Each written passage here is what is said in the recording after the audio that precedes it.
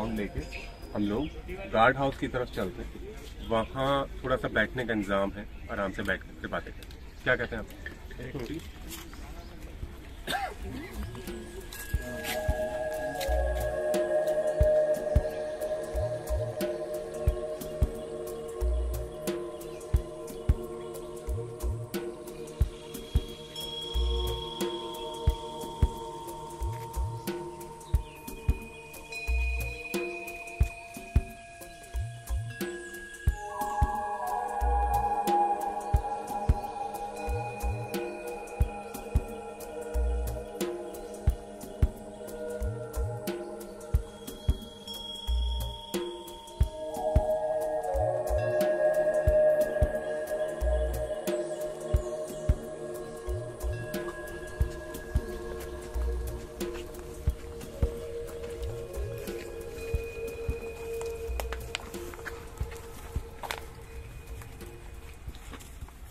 Like सुबह सुबह के लिए ये जो मौजू जो ये टॉपिक हमने चुन लिया है।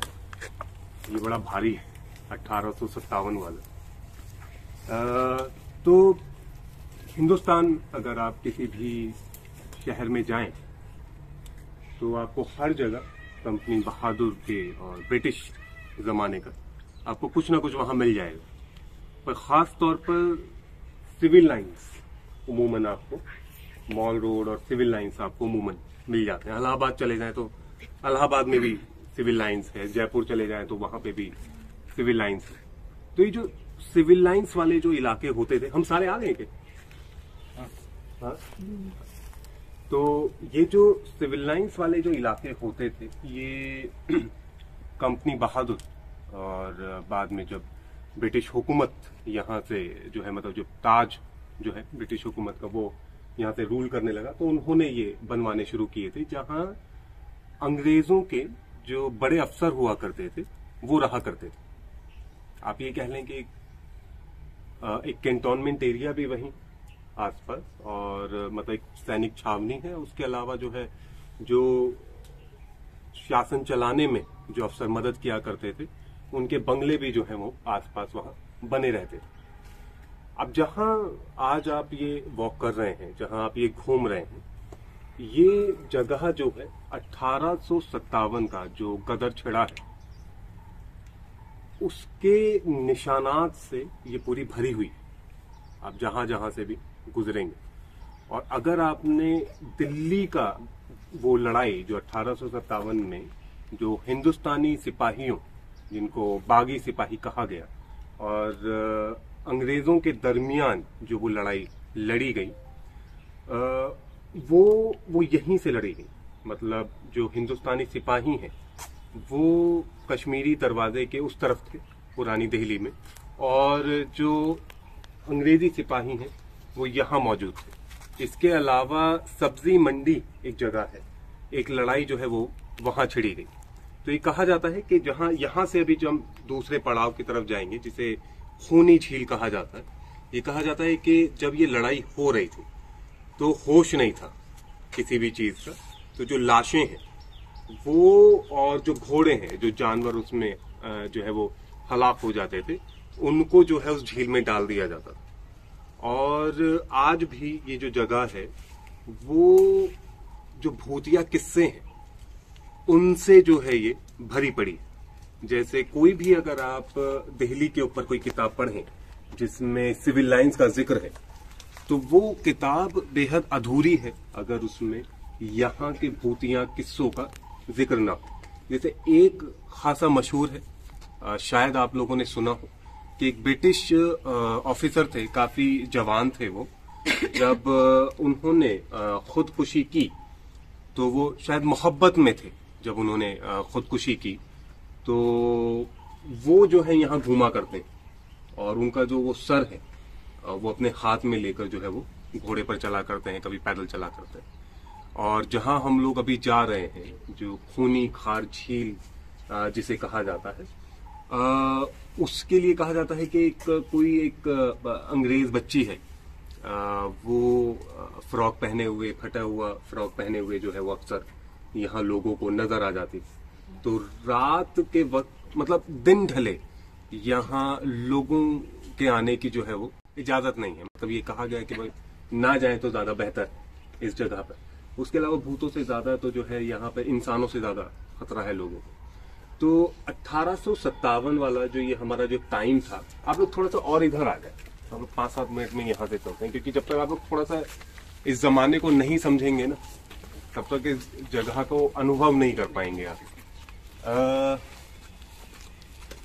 ये कहा जाता है कि अठारह जो है हमारा 11 मई अठारह को एक बागी लश्कर जो है, एक फौजी दस्ता जो है, वो मेरठ से वो दिल्ली आए और रमज़ान चल रहे थे उस वक्त।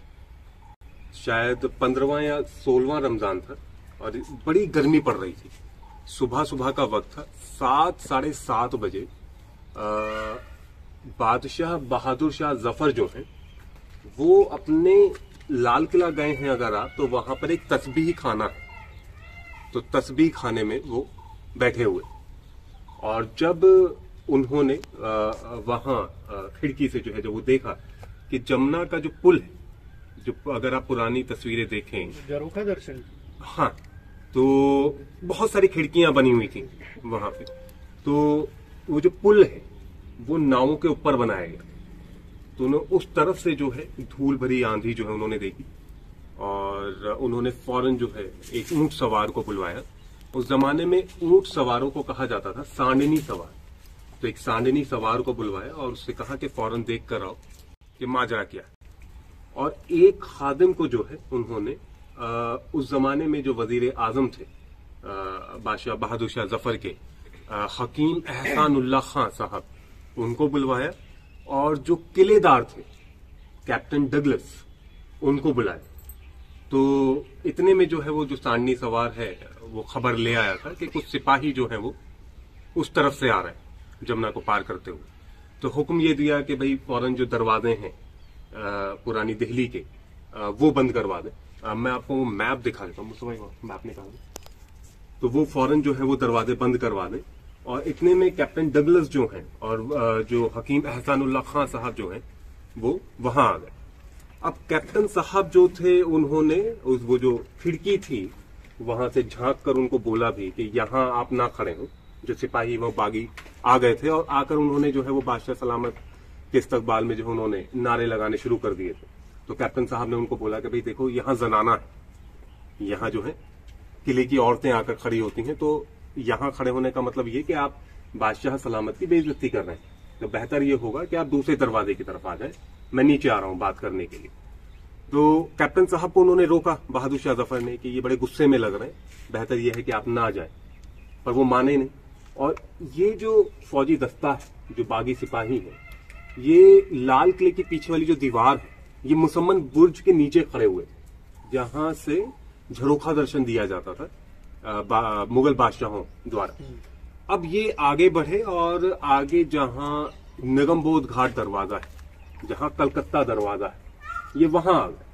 अब उस जम, उस वक्त जो मंजर था वहाँ का वो ये था कि आप ये देखें कि जो पुरानी दिल्ली है शाहजहानाबाद वहाँ के जो लोग हैं वो सुबह साढ़े तीन, चार बजे तक तो वो जो है मुशायरे चलते थे।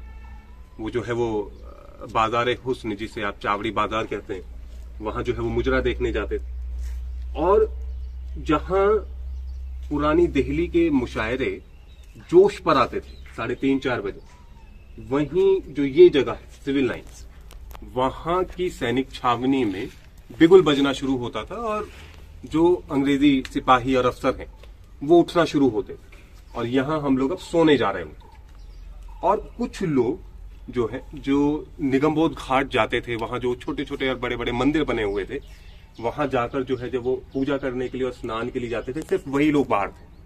अब जैसे ही शोर, ये जो पुल है, ये बुलंद हुआ तो फ़ौरन दरवाजे जो है वो बंद करने शुरू हुए। अब कुछ लोग जो बाहर गए हुए थे स्नान करने के लिए, जमुना जी में, अब उनका इंतज़ार कर रहे थे। आने के लिए। अब उन्हें तो बाहर नहीं छोड़ा जा सकता था। इस एवज में हुआ ये कि ये जो सिपाही है, ये अंदर भीतर आ गए। अब जब ये भीतर आए तो दिल्ली सुबहानी बहादुर शाह ज़फ़र जो है, वो वहीं मौजूद थे, लाल किले में। और उन्होंने उसी तरफ़, जो निगमबोध घाट दरवाज़ा है, उस तरफ़ से उन्होंने धुआँ उठता हुआ देखा। और वो समझ गए कि जो ये बागी सिपाही हैं, वो शहर के अंदर दाखिल हो गए। उस जमाने में आ, जब ये रण छिड़ा है दिल्ली में साइमन फ्रेजर आपने विलियम फ्रेजर नाम सुना होगा। एक और फ्रेजर दिल्ली में रहे हैं जिनका नाम है साइमन फ्रेजर। उस जमाने में जो है वो दिल्ली में मौजूद थे एज ए रेसिडेंट अंग्रेज़ों की तरफ़ से वो यहाँ मौजूद थे। और जो दिल्ली की जो पुलिस जिनके मातहत में आती थी वो थे थियो मेटकाफ। तो जो हिंदुस्तान है, उन्होंने, हिंदुस्तान ने तीन मशहूर मेटकाफ देखे हैं। एक है चार्ल्स मेटकाफ जो कलकत्ता में थे, और एक है थॉमस मेटकाफ जिन्होंने दिल्ली में एक तो मेटकाफ हाउस जो कश्मीरी दरवाजे के पास है, वो बनवाया था, और एक उन्होंने अपना एक समर हाउस जो है दिलकुशा के नाम से उन्होंने, महरौली में जो आज भी मौजूद है, वो बनवाया था। इन्हीं थॉमस साहब के जो बेटे हैं, वो थे थियो मेटकाफ अब थियो मेटकाफ साहब जो हैं वहाँ से गुजर रहे थे उन्होंने फ़ौरन जो है अपने लोगों को बोला उनको रोकने के लिए। पर हुआ ये कि इतनी ज़्यादा अफरा तफरी मची कि थियो साहब को जो है वहाँ से निकलना पड़ा। और जब थियो साहब जो है कश्मीरी दरवाजे की तरफ़ से आ की तरफ़ जा रहे थे घोड़ा दौड़ाते हुए तो ये कहा जाता है कि पीछ, पीछे से किसी ने उनके ऊपर ईंट से वार, वार किया और वही गड्ढे में जो है जाकर गिर गए। अब ये जो सैमन फ्रेजर साहब है वो जो है लाल किले के अंदर दाखिल हो गए और कैप्टन डगलस जो है वो जो लाल किले के बाहर जो आपने देखी है वो जो खाइया बनी हुई हम्म। खंदक बनी हुई वो हर किले के बाहर होती तो वो उसमें गिर गए थे जिसकी वजह से जो है उनका टखना टूट गया और फिर उसके बाद जो है ये दोनों लोग जो है कैप्टन साहब और साइमन फ्रेजर साहब ये लोग लाल किले में अंदर दाखिल हो गए। तो कितने सिपाही थे टोटल? ये जो मेरठ से आए थे इसकी गिनती तो कोई नहीं पर काफ़ी थे। मतलब इतने थे कि दिल्ली के अंदर जो है ये गदर मचा से जब ये यहाँ आए तो इन्होंने तकरीबन उनचास जो यूरोपियन थे जो शाहजहानाबाद में मौजूद थे उनका कत्ल कर दिया। और कत्ल करने के बाद जो है, इन्होंने जो शहर है, उसको अपने कब्जे में ले लिया। ये कहा जाता है कि कुछ ही घंटों में जो शाहजहानाबाद है, वो ये जो बागी सिपाही आए मेरठ से, ये उनके कदमों में ढेर हो गया। अब ये जो सिपाही हैं, ये दन दनाते हुए लाल किले के अंदर पहुँचे और बहादुर शाह ज़फ़र जो है, उनका हाथ जो है इन्होंने, जबरन जो है ये अपने सर पर रखवा लिया और ये फरियाद कर रहे थे उनसे कि, ए, दीन के गुसैया धर्म रक्षक। हम दीन के खातिर बिगाड़ कर आए। अब दीन की खातिर कैसे बिगाड़ कर आए हैं? क्योंकि वहाँ जो ये कारतूस थे जिसमें सुअर और गाय की जो चर्बी है के जो बने हुए थे उसकी वजह से ये वजह बताई जाती पर बहुत पहले से जो है अशांति जो है वो चल रही थी। उसके खातिर जो है हम बिगाड़ कर आए हैं और अब आपके पास आए हैं और अब आप मदद करें। तो बहादुर शाह ज़फ़र जो है वो बेहद बूढ़े हो गए थे। और उन्होंने उनसे कहा भी कि देखिए, ना मेरे पास सल्तनत है कि मैं आपको अपनी चाकरी में रखूँ, ना मेरे पास शाही खजाना है जो मैं आपको तनख्वाह दू, मेरे पास कुछ नहीं। पर ये जो सिपाही थे, बड़े गुस्से में थे। और लाल किला और जो पुरानी दिल्ली है, ये उनके नारों से बुलंद था। मतलब हर हर महादेव और अल्लाह अकबर मतलब जो दिल्ली है वो उसमें बड़े आला दर्जे के शराफा लोग मतलब एलीट लोग रहते थे पहले। आ, मतलब 1803 से ये जो अठारह वाला जो जमाना है ये दिल्ली की तहजीब वाला जमाना कहा जाता है। और दिल्ली वालों को इस तरह की आवाजों की शोरगुल की जो है वो आदत नहीं थी। तो दिल्ली वाले जो है फ़ौरन मतलब जिनकी दुकानें थी वो बंद करके जो है वो घर चले गए और लोगों ने अपनी हवेलियों के जो फाटक हैं वो बंद कर लिए। और ये जो बहादुर शाह ज़फ़र हैं, वो ना चाहते हुए भी ये कहा जाता है कि उन्होंने जो है उन हामी भर दी। कुछ कहते हैं कि हामी भरी, कुछ कहते हैं कि नहीं भरी। जो भी है ये जो मुगलों का बुझता हुआ चिराग है, वो फिर से जो है वो फड़फड़ाने लगा। और बहादुर शाह ज़फ़र जो है, एक बार फिर से जो है वो बादशाह हिंद, जो ये बागी सिपाही हैं, उनके ज़रिए घोषित कर दिए तो अठारह से जुड़ी हुई और उनसे पहले और उनकी बाद की जो बातें हैं वही हम इस वॉक पर करेंगे। अच्छा ये नज़र आ रहा है नक्शा? आप लोग चाहे तो थोड़ा सा और करीब आ जाए। अच्छा अभी जैसे ये शाहजहानाबाद का है पुरानी दिल्ली जो है हमारी वर्ल्ड सिटी ठीक है? और हम लोग जो हैं वो यहाँ हैं। ये हमारा इधर से कश्मीरी दरवाज़ा है। और ये जिस पुल का ज़िक्र कर रहा था मैं नावल। नाव वाला ये वो है। ये सलीमगढ़ फोर्ट है। ये वाला। और ये हमारा है लाल किला। मतलब ये कहा जाता है कि जब तोपें चली थी अंग्रेज़ों की तरफ़ से और तो जो गोले हैं कई बार वो लाल किले में जो है वो वो गिरना शुरू हो गए। तो ये वाला जो पुल है जो नाव के ऊपर बना हुआ था, उसके लिए ये कहा जाता है कि अंग्रेज़ों की तरफ़ से जो है एक नाव, खाली नाव में बारूद भरकर जो है, एक तरह से टाइम बॉम्ब वो जो है इसको उड़ाने के लिए भेजा गया।